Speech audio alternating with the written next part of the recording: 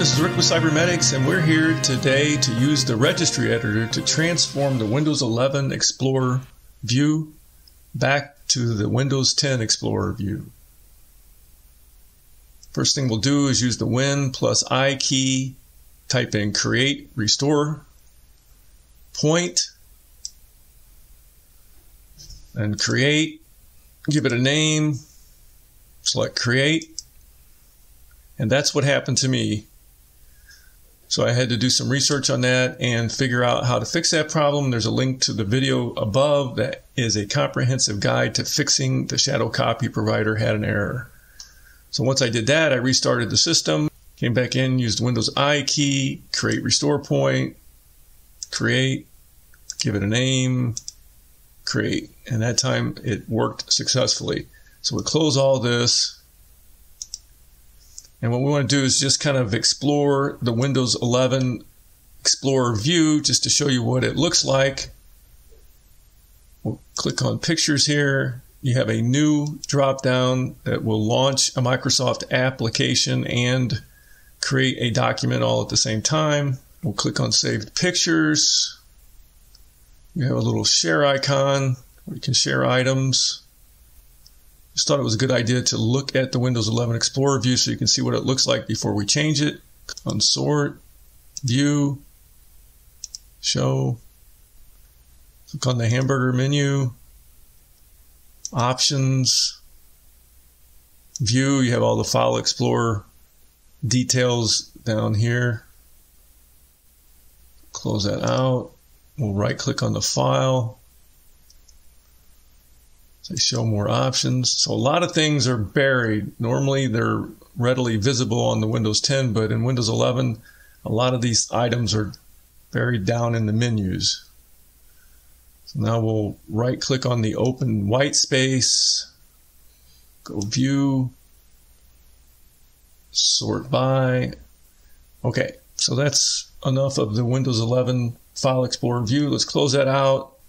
Let's come down here we're going to run Registry Editor as an administrator. And just want to emphasize how dangerous editing your registry is because you are one edit away from making your computer system unstable and unusable. There's five things you should do before you edit your registry, and these should be done probably regardless. First one would be create a system restore disk, USB, or DVD. This will have all the software tools necessary to be able to recover a corrupted Windows installation on your hard drive also make sure that your BIOS is set up to be able to boot from the USB or DVD.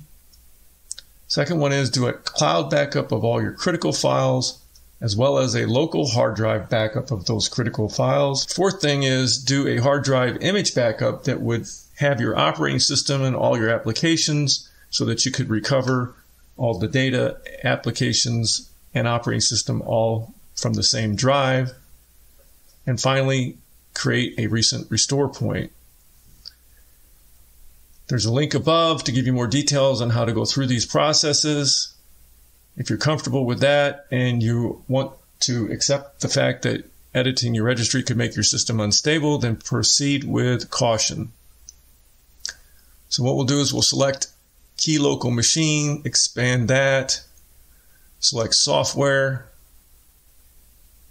and you notice as we as we click on these, the path up here changes. So make sure the path is in sync with what changes you're going to make. From software, we'll go down to Microsoft, expand that. And we'll scroll down here and we'll go to Windows, select expand. Windows, we're going to go to current version, expand that. Scroll down here and go to shell extension. Right click on shell extension and say new key and type in blocked. And then once you do that, click over here, select new and say and select string value paste the string value. You can get this from the video description. I will close this. come down and do one last look at, we're about to change that by restarting the system. So we'll go here, select restart, and come back in and look at, there you go. Now you have the detailed ribbon of the Windows 10 Explorer, where before in the Windows 11, things are hidden away, so you have to drill down. Definitely Windows 11 is a cleaner look. It just depends on whether you're more focused on having the functionality up and front or you like the clean look of Windows 11. That concludes our video demonstration of how to use the registry editor to bring back the Windows 10 Explorer view in Windows 11. If you have any questions or comments, please post them below. Hope you will consider subscribing and have a great and wonderful automation day.